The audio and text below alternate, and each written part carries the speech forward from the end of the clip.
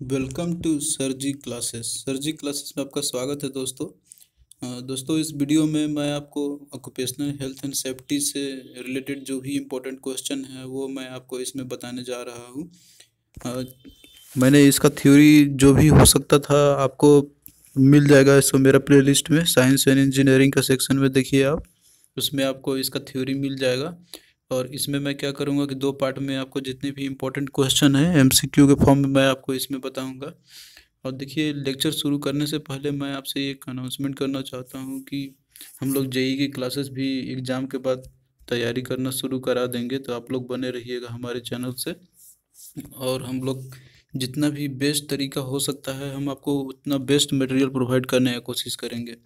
तो शुरू करते हैं आज का सेशन देखिए, पहला क्वेश्चन आपका इसमें है कि work place related injuries and इनलेस या डेथ इम्पोजेस कॉस्ट अपॉन यानी कि जो क्या होता है, क्योंकि जो वर्क प्लेस पे जो भी इंजरी होता है या इलनेस होता है तो उससे जो भी कॉस्ट होता है, जो भी खर्चा आता है तो वो किसके ऊपर आता है?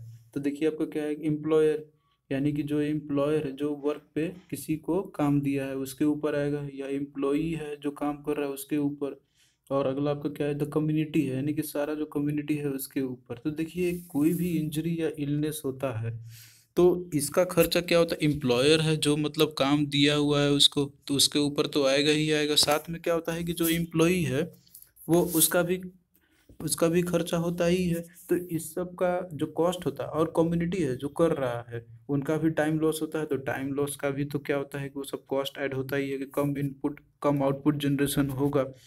तो ये से जितना भी खर्चे होते हैं ये सब जो भी वर्क प्लेस रिलेटेड इंजरी होता है तो वो किसके ऊपर आएगा? तो वो ऑल ऑफ़ द एबव सारे के ऊपर आ जाएगा। तो आंसर क्या होगा? इसका डी होगा। नेक्स्ट क्वेश्चन देखिए क्या है आपका यहाँ पर?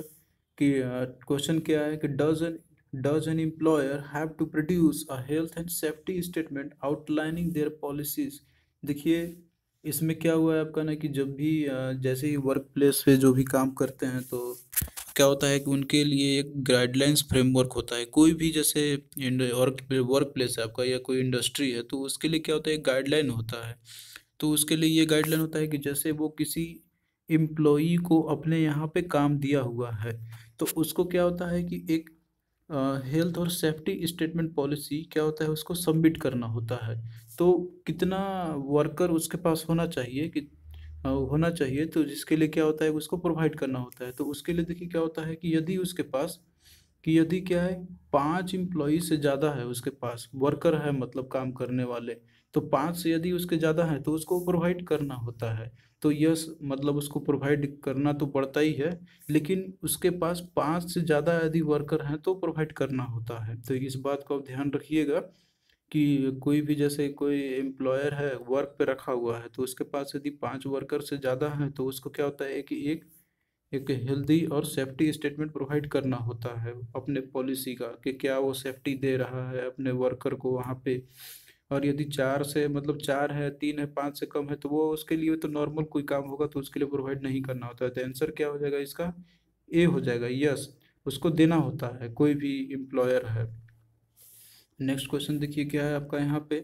कि which of the following is not a source of the law on health and safety at work इसमें से कौन सा ऐसा क्या एक लॉ नहीं है आपका? किससे रिलेटेड आपका लॉ होना चाहिए? हेल्थ और सेफ्टी से होना चाहिए। तो देखिए गाइडेंस नोट तो होता ही है कि गाइड कैसे वर्क करना है। तो ये देखिए, ये भी एक गाइडेंस नोट तो यानी कि ये भी एक लॉ के अंदर में आता है। रेगुलेशन कि काम कैसे करना है? रूल रेगुलेशन के अंडर में रख के तो ये भी एक लॉ होता है। एक आपका है कि रिसेंट केस लॉ ये कोई एक लॉ नहीं होता है आपका। तो इसलिए इसका जो आंसर होगा, वो क्या होगा आपका? ये सी होगा। देखिए कॉमन लॉ भी होता है। इसमें बस आपको याद रखना है यहाँ पर कि जो रिसेंट केस लॉ है, ये कोई हेल्थ एंड सेफ्टी से रिलेटेड कोई एक लॉ नहीं होता है। देखिए दोस्तों नेक्स्ट क्वेश्चन में आपको क्या दिया हुआ है यहाँ पर कि जो ऑक्यूपेशनल सेफ्टी हेल्थ एक्ट है आपका। देखिए, ओसा क्या होता है कि ये एक सरकार द्वारा क्या है occupational safety health act pass किया गया है। इसमें कुछ गाइडलाइंस है कि जैसे कोई एम्प्लॉयज़ हैं, कोई एम्प्लॉयर है जो एम्प्लॉय को अपने यहाँ रखता है तो वो क्या होता है कि किस तरीक़े से वो सेफ्टी दे रहा है उसको तो उसके एक्ट के तहत, इस एक्ट के तहत उसमें ये सारा चीज़ दिया हुआ है कि क्या सेफ्टी मेजर उसको प्रोवाइड करना होता है। तो ये क्या है ओसा का फुल फॉर्म भी आप याद रखिएगा।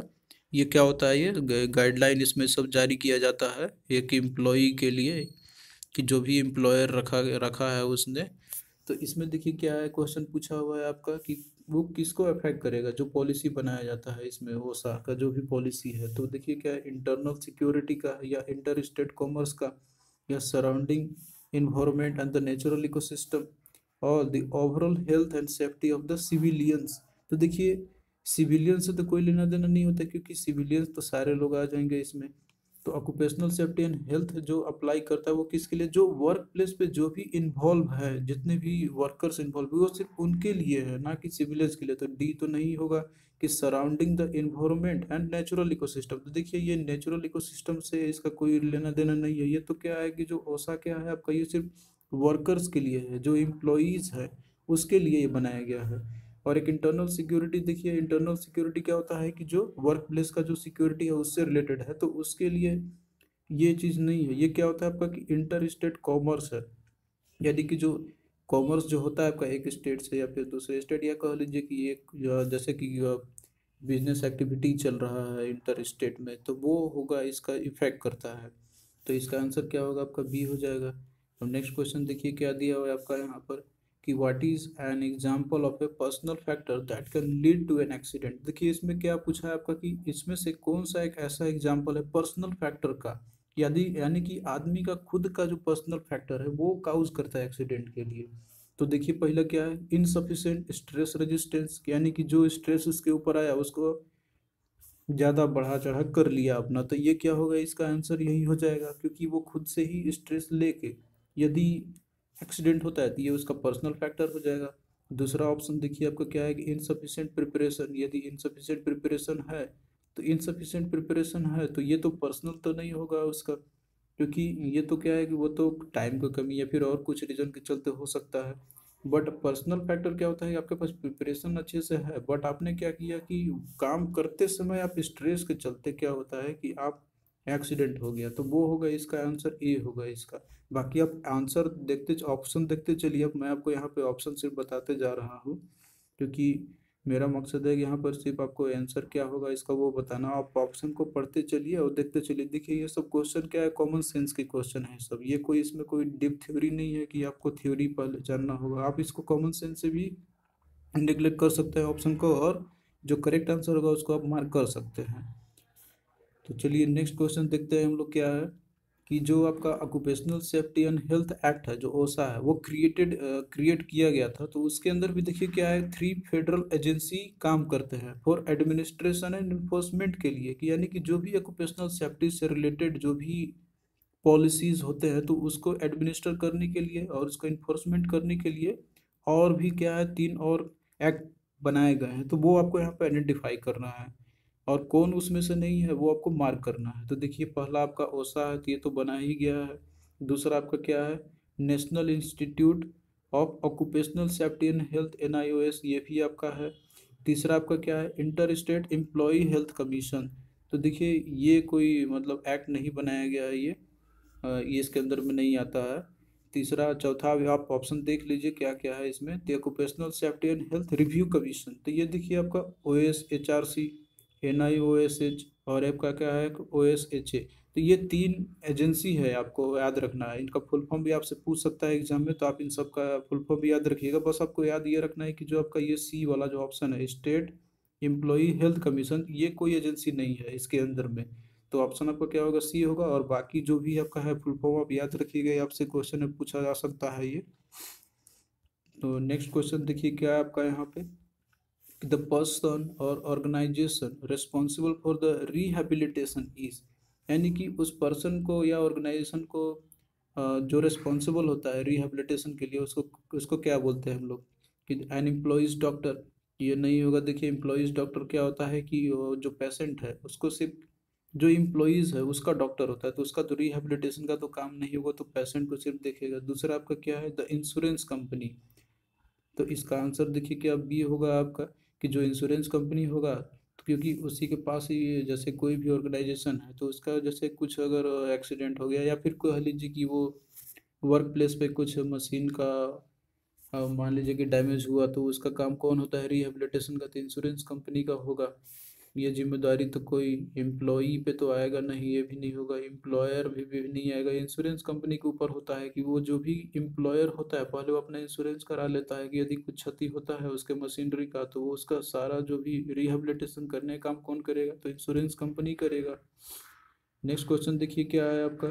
कि what requirement is a safety harness expected to meet कि यानी कि जो सेफ्टी हार्नेस है वो क्या रिक्वायरमेंट होना चाहिए उसके लिए? यानी कि जो सेफ्टी वर्कर्स मतलब कि जो वर्कर्स को जो भी सेफ्टी इक्विपमेंट प्रोवाइड किया जाता है तो वो क्या मीट करना चाहिए उसके लिए? तो पहला आपका देखिए क्या दिया हुआ है कि a safety harness must fit well and adjusted to the bearer यानी कि जो भी सेफ्टी इक्विपमेंट को जो बियर कर रहा है, वो फिट होना चाहिए अच्छे तरीके से और एडजस्टमेंट भी होना चाहिए। तो हाँ ये हो सकता है आपका। यही है इसका आंसर होगा। दूसरा आप ऑप्शन से भी छाड़ सकते हैं। अब मैं आपको यहाँ पर आंसर सिर्फ़ बता रहा हूँ। दूसरा देखिए क्या हुआ है, क्या दिया हुआ है? Safety harness must be equipped leather and seat strap देखिए, कोई भी सेफ्टी इक्विपमेंट वो चाहे लेदर ट्रैप्ड हो या कुछ हो या ना हो, या उसमें safety harness must have double stitches shoulder belt या उसमें शोल्डर बेल्ट हो या कुछ भी, वो कैसे भी बनाया गया हो, जब तक वो फिट ना हो पर्सन को, तब तक उसका बेटर यूटिलाइजेशन नहीं बेटर हार्नेस उसका यूटिलाइजेशन नहीं किया जा सकता है।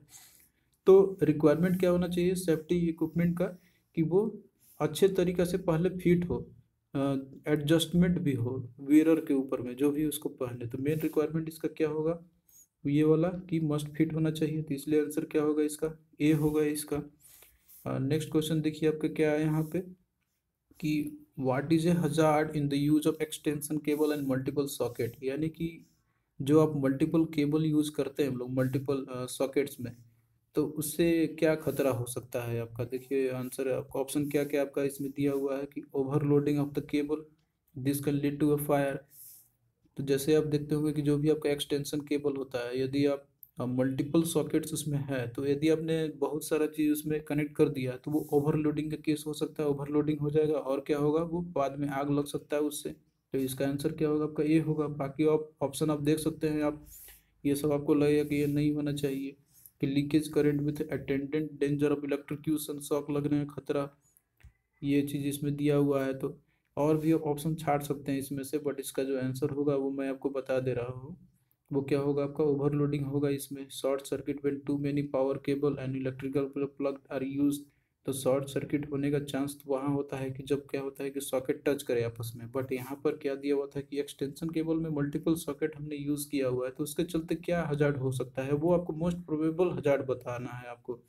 ये सब भी हो सकता है बट जो मोस्ट प्रोबेबल जो चीज़ है यहाँ पे आपको जो हजार्ड खतरा हो सकता है, वो आपको बताना है। तो ऑप्शन क्या होगा? आंसर क्या होगा? इसका ए हो जाएगा। नेक्स्ट क्वेश्चन देखिए क्या दिया हुआ है आपका? कि increases the risk of accident involving electricity at your work place तो इसमें देखिए क्या बता रहा है आपको कि रिस्क को कौन ज़्यादा बढ़ाएगा आपका एट वर्क प्लेस इलेक्ट्रिसिटी से होने वाले रिस्क को इसमें से कौन ज़्यादा बढ़ा सकता है आपका? तो देखिए ऑप्शन क्या क्या है? The use of chargeable tools the use of spark free tools the use of uninsulated tool या नन ऑफ़ दीज है। तो देखिए, इसमें से क्या होगा कि यदि आप अनइंसुलेटेड टूल्स का यदि आप यूज़ करते हैं तो ज़्यादा चांस है उसमें कि शॉक लगने का आपका हो सकता है यहाँ पे। क्योंकि यदि आप अनइंसुलेटेड यदि आप टूल्स का यूज़ करते हैं तो वो ज़्यादा आपका रिस्क इन्वॉल्व होगा इलेक्ट्रिसिटी से। तो इसका आंसर क्या होगा? सी होगा। बाकी ऑप्शन छाट सकते हैं यहाँ पे कि use of spark free tool तो स्पार्क फ्री टूल यदि हम यूज़ करते हैं तो स्पार्क होगा ही नहीं तो उससे तो कोई खतरा होगा ही नहीं तो इसलिए आंसर नहीं होगा। The use of chargeable tool यानी कि चार्जेबल टूल यदि हम यूज़ करें तो वो तो एक बार चार्ज होगा, फिर डिस्चार्ज होगा तो वो तो ऑलरेडी वो इलेक्ट्रिसिटी से डिसकनेक्टेड रहेगा। तो इससे भी ज़्यादा कोई खतरा नहीं है। तो आंसर क्या होगा इसका कि अनइंसुलेटेड टूल्स यूज़ करेंगे तो आप उससे ज़्यादा चांस है डेंजर होने का यानी रिस्क ऑफ़ एक्सीडेंट होने का। तो इसलिए आंसर क्या होगा? सी हो नेक्स्ट क्वेश्चन देखिए, इसमें क्या दिया हुआ है कि how can you prevent falling hazard at the edge of the work floor यानी कि जैसे आपको कोई मान लीजिए आपको क्या है कि वर्क फ्लोर जहाँ पर आप काम कर रहे हैं तो यहाँ पे सपोज़ कीजिए कि ये हजार्ड मतलब खतरा है यहाँ पर काम करने का तो इसको आप कैसे प्रिवेंट आप कर सकते हैं आप? तो देखिए ऑप्शन आपका क्या क्या है यहाँ पर कि by placing warning sign at the edge of the work floor यानी कि जहाँ भी आप काम कर रहे हैं, वहाँ पे आप क्या कीजिए वार्निंग साइन लगा दीजिए। दूसरा आपका क्या है कि by giving the workers proper instruction at the start of the work यानी कि हम जो वर्कर जो भी लगे हुए हैं, उनको शुरुआत में ही हम प्रॉपर इंस्ट्रक्शन दे देंगे, यहाँ पे क्या है खतरा है। या तीसरा है आपका क्या है यहाँ पर by putting proper barrier at the edge of the work floor यानी कि जो आपका वर्क फ्लोर है, उसके एज में जहाँ खतरा है तो वहाँ पर हम क्या करें? प्रॉपर बैरियर ही लगा दें। तो सबसे बेस्ट तरीका क्या है प्रिवेंट करने का? तो ऑप्शन आपका क्या होगा? सी होगा इसका कि हम वहाँ पे बैरियर ही लगा दें। क्योंकि यदि हम वार्निंग साइन लगाएँगे यहाँ पे तो क्या हो सकता है कि कोई जो जानता भी हो बट वो क्या करे कि गलती से चला जाए अंदर तो वो तो खतरा हो ही सकता है। दूसरा आपका क्या था कि by giving the instruction instruction दे तो हो सकता है कोई भूल जाए इंस्ट्रक्शन को बाद में तो वो भी जा सकता है उधर। तो सबसे बेस्ट तरीका क्या है कि आप वहाँ बैरियर लगा दीजिए कि यदि कोई अगर गलती से, अगर उधर जा भी रहे तो वो बैरियर से टकराए या वो पास आ सकता है तो वो खतरा नहीं होगा। तो बेस्ट इसका क्या होगा आपका? तो सी होगा। आप लोग भी इसको अटेम्प्ट करते जाइएगा। ये सब देखिए basic common question common sense का क्वेश्चन है ये। इसमें कोई ज़्यादा आपको साइंस वो ज़्यादा थ्योरी डिटेल में जानने की ज़रूरत नहीं है कि हमको ये सब नहीं आता है। और देखिए नेक्स्ट क्वेश्चन आपका क्या है? कि which of the following equipment which of the following is a hazard in working with hoisting equipment देखिए होस्टिंग आपका क्या होता है? कि ये जैसे कोई आपका ऊपर फहराया हुआ चीज़ है ऊपर। होस्टिंग होता है ना फ्लैग होस्टिंग वो यहाँ पे बताना चाह रहा है। होस्टिंग इक्विपमेंट मतलब कि जैसे कोई ऊपर फहरा रहा है या कोई लहरा रहा है ऐसा इक्विपमेंट हो तो उससे क्या खतरा हो सकता है? आपको वो बताना है। तो देखिए, क्या है आपका इसमें से कि द एम्प्लॉय में भी फिजिकली ओवर बर्डन तो फिजिकली ओवर बर्डन उसको कोई ऊपर लटका हुआ है, उसको फिजिकली कोई ओवर बर्डन तो ये तो होगा नहीं। The load may fall from the hook यानी कि जो लोड उस पर है, वो हुक से फॉल कर सकता है। तो हाँ ये प्रोबेबल हो सकता है हज़ार वो फॉल कर जाए ऊपर से। क्योंकि वो क्या है होस्टिंग इक्विपमेंट है तो इसका आंसर क्या हो जाएगा आपका? The load may fall from the hook B हो जाएगा। नेक्स्ट क्वेश्चन देखिए, क्या दिया आपका यहाँ पर?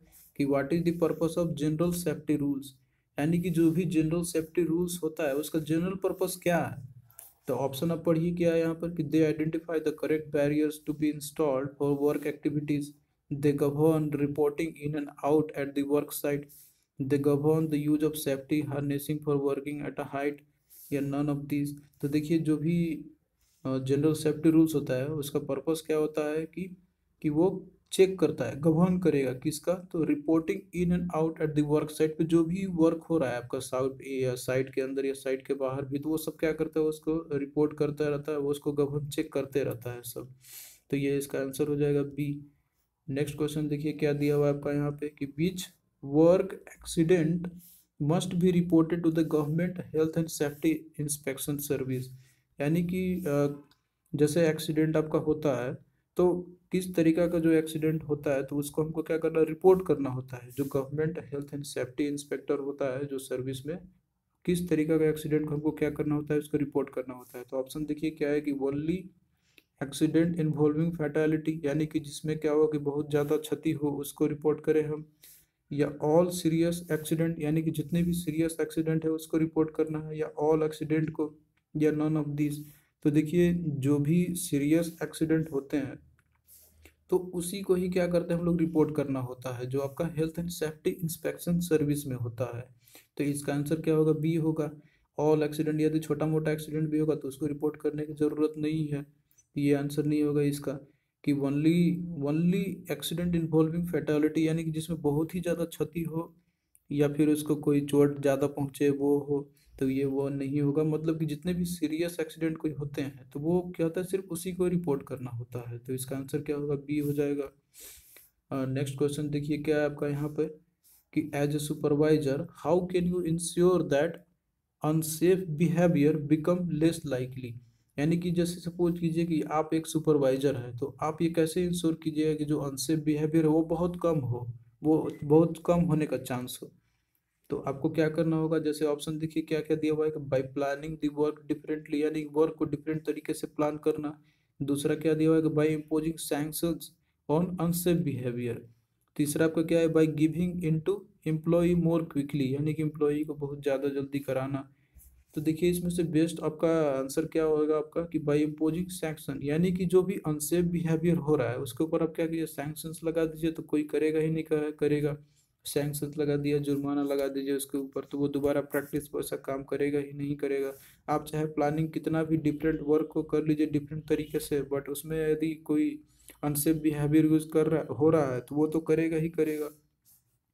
तो इसलिए क्या है, सबसे अच्छा तरीका है कि आप सेक्शंस इम्पोज कर दीजिए अनसेफ बिहेवियर पे। तो ये बेस्ट तरीका है। नेक्स्ट क्वेश्चन देखिए क्या है आपका यहाँ पे? कि what does the provision of security of people assets while at the work place entail यानी कि जो भी आप सिक्योरिटी देते हैं पीपुल का, जितने भी लोगों का जो एसेट्स होता है, उनका जो भी धन होते हैं वर्क प्लेस पे तो ये क्या आपका बताता है? ये क्या इसका मीनिंग होता है? तो ये देखिए क्या दिया हुआ है कि having all assets under lock and key यानी कि जितने भी असेट्स है, सबको मतलब कि लॉक करके रखना या प्रिवेंटिंग थेफ्ट यानी कि हमको क्या करना है कि उसका चोरी होने से प्रिवेंट करना है, ये होता है इसका मीनिंग और तीसरा आपका क्या है issuing security badges and identity card to all the people at the work place यानी कि सभी को सिक्योरिटी बैचेस या आइडेंटिटी कार्ड प्रोवाइड करना। तो देखिए जो भी आप क्या करते हैं यहाँ पर कि जो सिक्योरिटी देते हैं पीपल के एसेट्स का तो वो सबसे मेन जो इसका मीनिंग होता है इंटेल क्या करता है कि हम उसको प्रिवेंट करना है, हमको चोरी होने से, यानी थेफ्ट होने से हमको बचाना है उसको तो ये इसका मीनिंग होता है। तो आंसर क्या होगा? बी होगा इसका। नेक्स्ट क्वेश्चन देखिए क्या है आपका? कि programs that are design to improve health problems of employee before the event arise are classified as तो यानी कि जो भी प्रोग्राम डिज़ाइन किया जाता है किसके लिए? तो हेल्थ इम्प्रूवमेंट के लिए। प्रॉब्लम्स ऑफ़ जबकि वो अराइज होने से पहले ही जो भी प्रोग्राम इम्प्लीमेंट होते हैं, उसको क्या बोलते हैं हम लोग?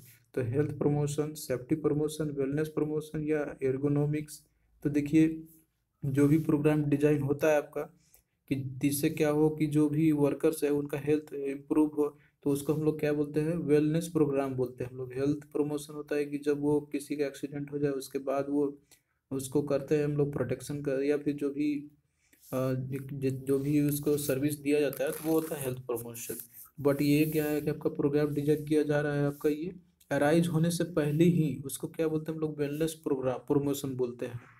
तो ऑप्शन देख के आप इसको एलिमिनेट कर सकते हैं। नेक्स्ट क्वेश्चन देखिए आपका क्या दिया हुआ है कि what is the role of work place health and safety representative यानी कि जो भी हेल्थ एंड सेफ्टी रिप्रेजेंटेटिव होता है तो उसका रोल क्या होता है वर्क प्लेस पे? यानी कि जिसको भी रखा गया है हेल्थ एंड सेफ्टी रिप्रेजेंटेटिव के तौर पे वर्क प्लेस पे, जहाँ भी काम हो रहा है तो उसका काम क्या होना चाहिए? देखिए ऑप्शन क्या क्या दिया हुआ है कि to represent the workers view and concern on the work place practice of the employee यानी कि जो भी वर्कर्स का व्यू है, उसको क्या करे? वो रिप्रेजेंट करे कि कोई भी वर्कर कुछ निर्देश दे रहा है, कोई अपना कंसर्न रख रहा है तो उसको वो देखे।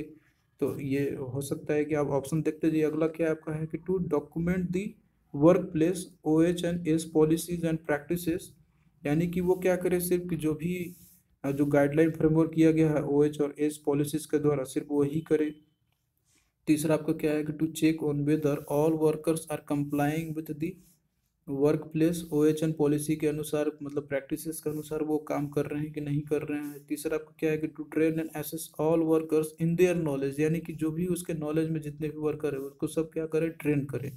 तो देखिए, इसमें से जो आपका बेस्ट आंसर क्या होगा कि वो रोल क्या होता है, जो भी हेल्थ एंड सेफ्टी रिप्रेजेंटेटिव होता है कि वो उसका काम होता है कि जो भी वर्कर्स है, उनका जो भी व्यू है, उनका जो भी कंसर्न है वर्क प्लेस से रिलेटेड वो उसको क्या करे रिप्रेजेंट करे और जो भी अथॉरिटी है उसको रिपोर्ट करे। तो ये उसका मेन फ़ंक्शन होता है। बाकी और सारे चीज़ भी होते हैं, लेकिन ये सब क्या हो गया कि ये सब फॉर्मेलिटी के तौर पर होते हैं, ये सारा चीज़। बट ये क्या है कि उसका एक रोल होता है कि वो जो भी वर्कर्स है, उनका जो भी व्यू है या वो भी, जो भी कंसर्न्स है तो वो भी सुने उनका। तो ये होगा इसका आंसर और नेक्स्ट क्वेश्चन देखिए क्या दिया हुआ है आपका यहाँ पे कि what is the best safety rule तो इसमें से आपको बताना है कि सबसे बेस्ट सेफ्टी रूल्स क्या होना चाहिए? तो पहला देखिए क्या है कि immediately sort the waste generated during the work यानी कि जो भी वेस्ट जनरेट होता है आपका वर्क काम करने के समय, उसको तुरंत हटाते हैं।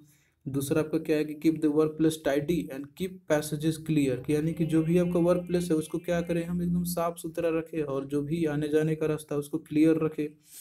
तीसरा आपका क्या है? Mark all hazard at the work place with red white tape यानी कि जो भी हजार्ड चीज़ है वर्क प्लेस पे, उसको रेड वाइट टेप से हम रखें, या नॉन ऑफ़ दिस तो देखिए इसमें बेस्ट सेफ्टी रूल क्या होना चाहिए? आप खुद आंसर कीजिए इसको। तो देखिए इसमें से जो बेस्ट आंसर होगा, वो क्या होगा आपका यहाँ पे? कि कि जो वर्क प्लेस है, उसको आप जितना साफ़ सुथरा रखिएगा, उतना ही एक्सीडेंट होने का चांस कम है। ये आपका आंसर हो जाएगा। नेक्स्ट क्वेश्चन देखिए आपका क्या है यहाँ पे? What is what is an important area for attention if an on site investigation is conducted after an accident तो इसमें क्या है आपको बताना है यहाँ पे कि जैसे मान लीजिए कि कोई भी साइट है आपका, वहाँ पे क्या होता है?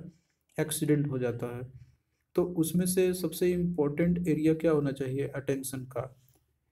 कि जैसे आपका वहाँ पे क्या हो रहा है कि इन्वेस्टिगेशन इज़ कंडक्टेड हो रहा है एक्सीडेंट होने के बाद तो उसके लिए सबसे ज़्यादा आपका इम्पोर्टेंट एरिया ऑफ़ अटेंशन क्या होना चाहिए? तो देखिए आपका ऑप्शन क्या क्या है कि that the document present at the site are retrieve यानी कि जो भी डॉक्यूमेंट उस साइट पे प्रेजेंट है, वो सारा चीज़ क्या होना चाहिए? रिट्रीव्ड हो जाना चाहिए। तो देखिए ये सबसे मेन इंपॉर्टेंट एस्पेक्ट होता है। एरिया ऑफ़ अटेंशन होता है, कोई भी साइट का।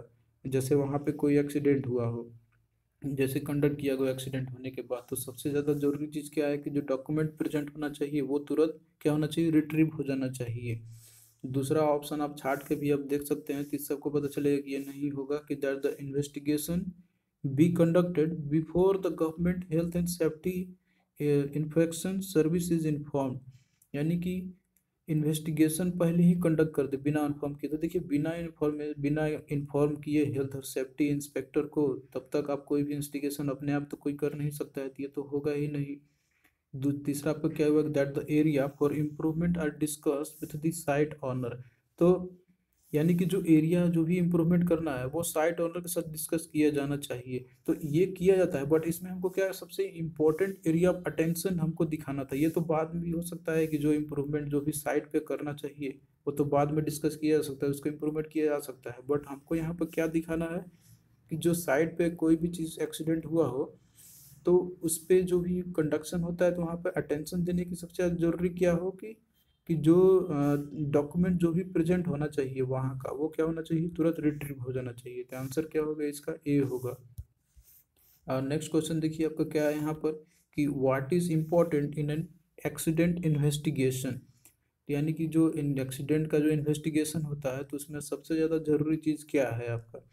तो देखिए ऑप्शन क्या क्या दिया हुआ है कि to clean up the site of the accident as quickly as possible in order to prevent the new accident यानी कि नया एक्सीडेंट हो, उससे पहले क्या करेगा? साइट को पूरी तरह से जो भी हुआ उसको साफ़ कर दे।